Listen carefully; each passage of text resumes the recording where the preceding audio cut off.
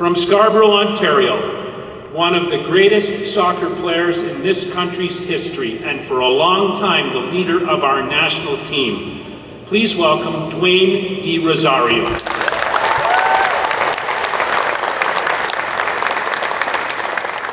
First, I want to say, you know, thank you for all the support, all the love, and the dedication to all the athletes and everyone who's paid contribution to my success.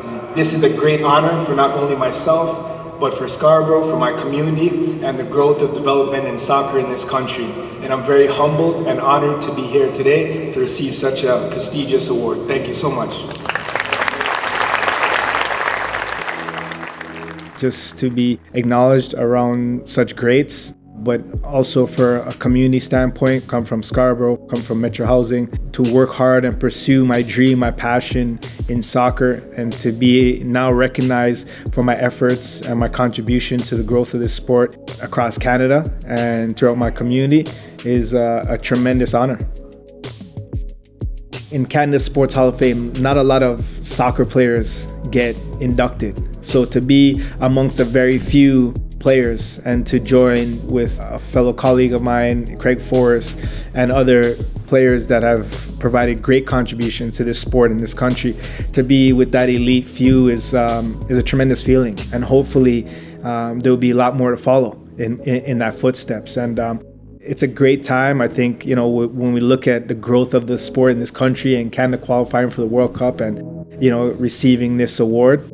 Hopefully, it's an opportunity where it's opening doors for other players to be inducted, and also raising awareness to realize that we're more than just athletes we have so much to offer and give back to our communities. And you know, I've started my Hero Foundation. We work with inner city kids, and hopefully that could inspire the next generation to say, hey, you know what? How can I inspire my community? How can I help grow the game and build this game across Canada?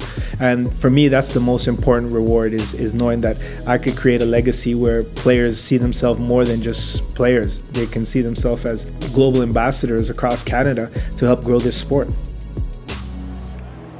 the reason why I'm sitting here having this conversation is due to the strengths of a young man who, just like myself, has dreams and aspirations to help grow the game. And I wouldn't be here if it wasn't on the strength of him and his father really, you know, putting my name to the forefront into the induction committee to to create a great cause and a great case of why I should be inducted. I was part of a great team that was able to induct Mr. De Rosario into the Canadian Sports Hall of Fame. I met him a while ago, quite a few years ago, just as a fan. So now today, the fact that I'm here and I know him and I'd like to consider him a friend, it's just truly incredible. It's a privilege to be able to do that.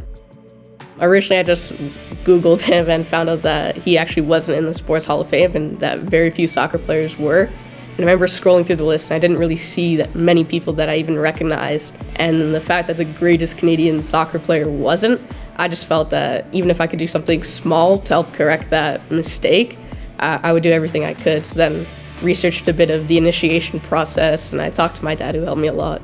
It's great to see someone that has looked up to you is now the reason why I'm inducted in, into the hall. And um, he's inspiration for me. I'm an inspiration for him.